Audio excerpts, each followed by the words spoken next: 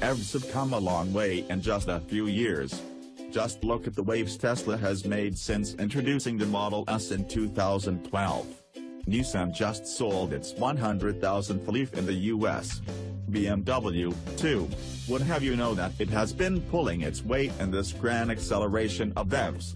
In fact, the German automaker has also recently hit a major milestone since it first launched battery-powered cars under its i sub-brand.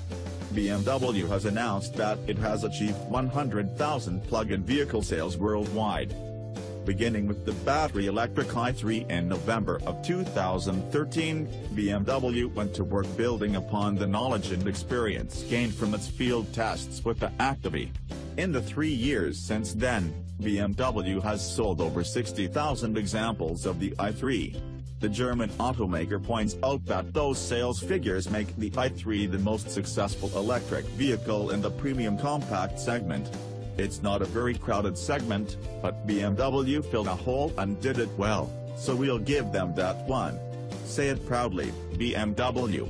And, impressively, the automaker reports that 80% of i3 buyers are new to BMW, which means first-time owners and those ever-important conquest sales.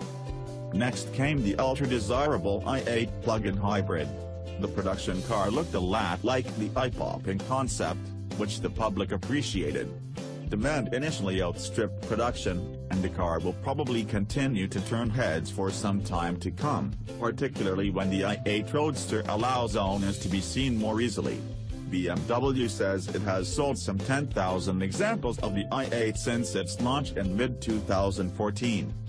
Additionally, BMW has sold about 30,000 plug-in hybrid versions of its other core products, which now fall under the i-Performance label.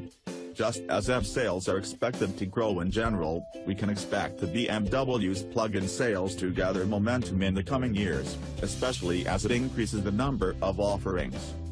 BMW i remains our spearhead in terms of innovation and it will continue to open up groundbreaking technologies for the BMW Group, says BMW Chairman of the Board of Management Harald Krüger. When it comes to electric drivetrains, we've already successfully managed to put this technology transfer on the road.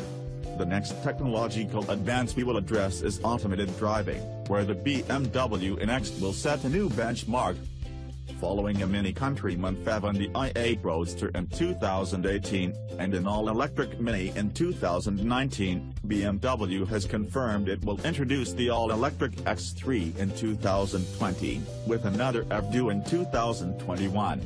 We